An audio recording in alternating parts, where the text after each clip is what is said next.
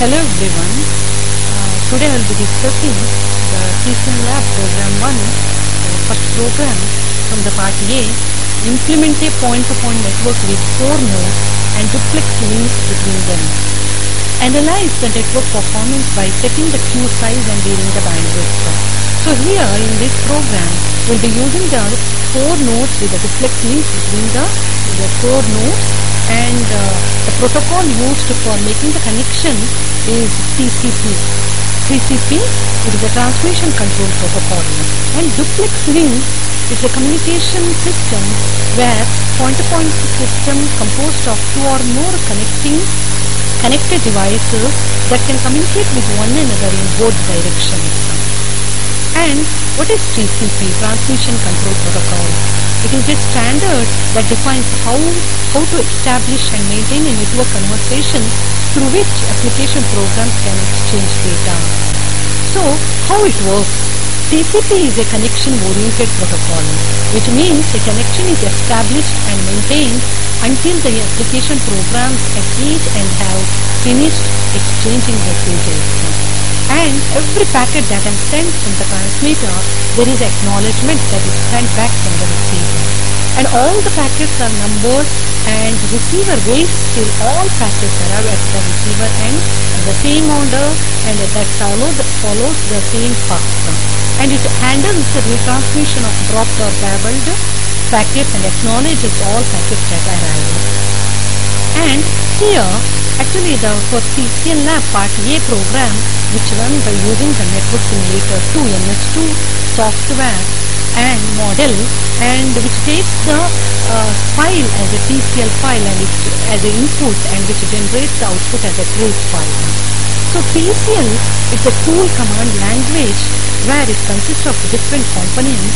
It is a, the first component is to create the event scheduler and the second one open new files and turn on the tracing and create the node, set up the link, configure the traffic type example TCP or UDP, set the time of traffic generation and terminate the simulation. These are the different parts in the components where the TCL file which follows this pattern. Next, uh, what is the procedure to run the network simulator software? NS2.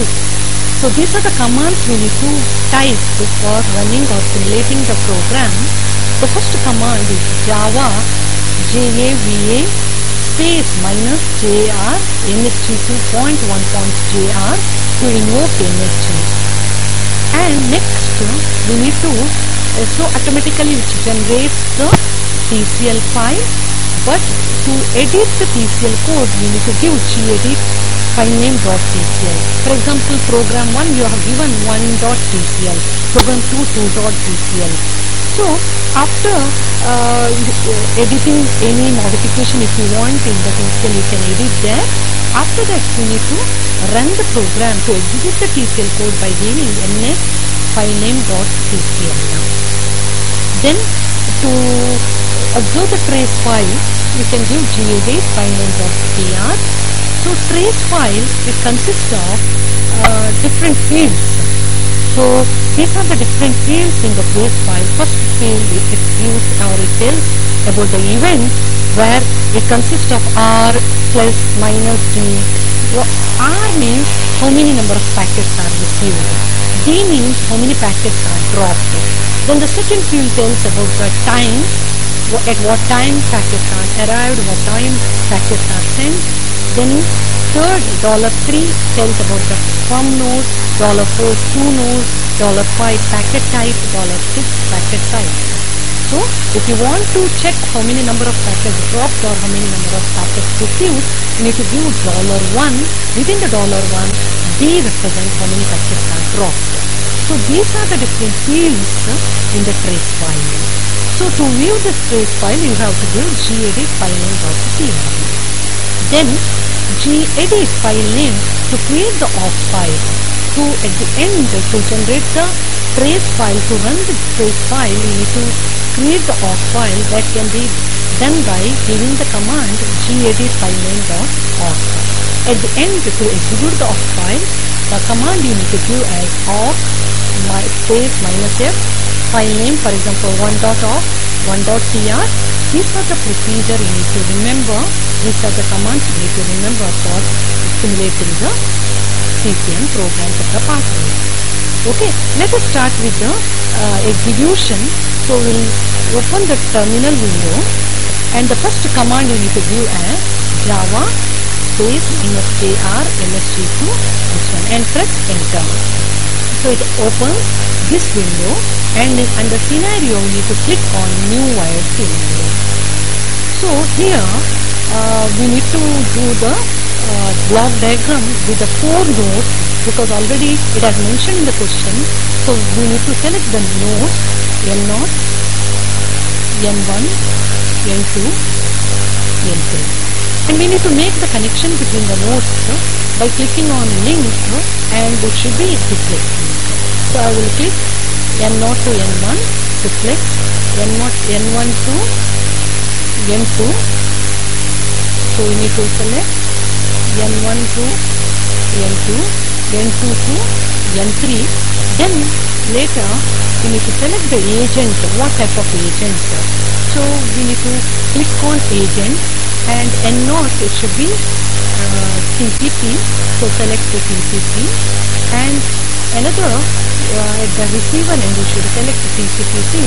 So click on N3 to TCP and make the connection between by se- selecting the uh, application sorry agent make the connection between the TCP pin then click on application application select FTP and TCP this is the block diagram for program 1 okay? So select the four nodes then make the connection by clicking on the link the option. Uh, you should select the duplex link then click on agent and select TCP and choose TCP pin make the connection between them. Then under application select FTP and do the connection to the TCP then under parameters you can give the you can change the file name as one dot tr for the program one and one dot nam. Okay. Then click on TCL. So have given this is the TCL file automatically generated. It consists of the starting time of simulation, then initialization, initialization, then node definitions we have selected N0, N1, N2, N3, links definition, duplex links N0 to N1 with the uh, what is the speed, what is the time and uh, bandwidth, and later queue size also mentioned, then uh, it should be uh, N1 to N2, then N2 to N3, N2 to N3. So these are the uh, links, uh, create the links between the nodes, then agent definitions, uh, start and stop time, termination, within will be mentioned. So you can change here from uh, 1 to 2 or it can be 0.12. The start time, so I can change it to 0.12 or uh, 1 to 2, uh, 0.12.8.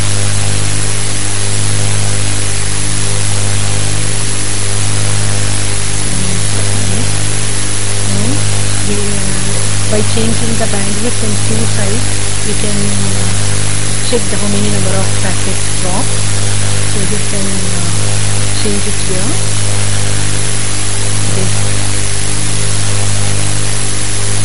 thousand kb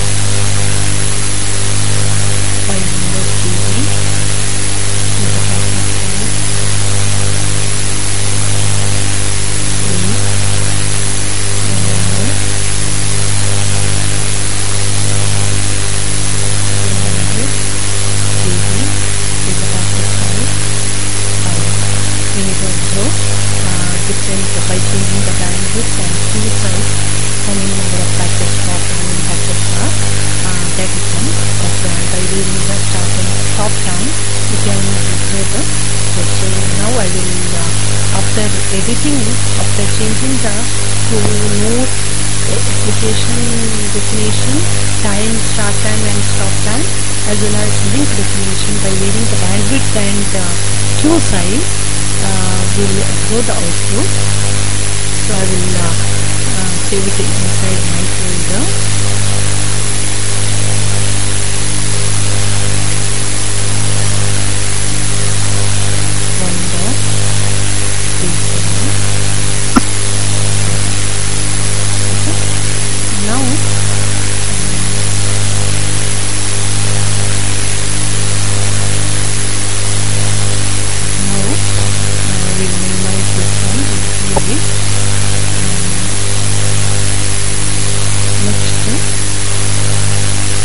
we will use cd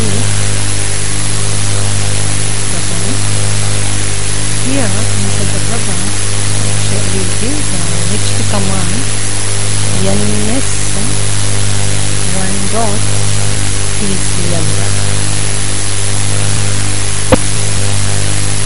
so uh, it, will open this window and you can observe here many number of packets are it will be it will be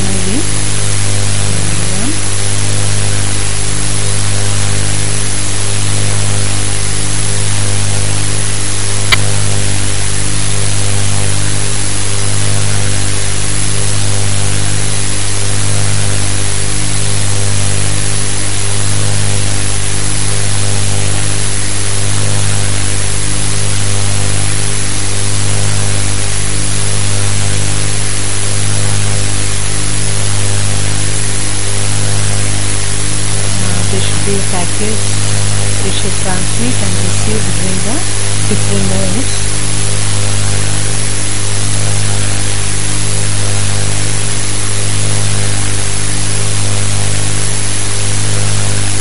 later uh, we need to uh, we can observe the how many uh, trace file gedit gedit one dot tr show uh, this file so there are different uh, fields. First field represent the event second field represent the time. And next how many from node to node packet size packet type everything you can see in this trace file. Okay. So next we need to uh, run uh, we need to edit the awk file. So gedit gedit one dot. Awk so you can see this awk file. Here uh, we need to check how many number of packets dropped.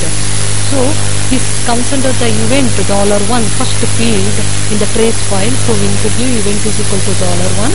If event is equal to d then count plus plus so that d means how many number of packets dropped that can be represented in the d in the first field so printf number of packets dropped okay and uh, we need to run this program so control c. This is the command so awk space minus x and it should be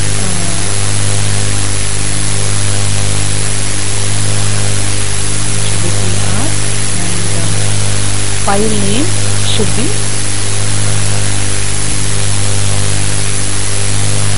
One. And it should be.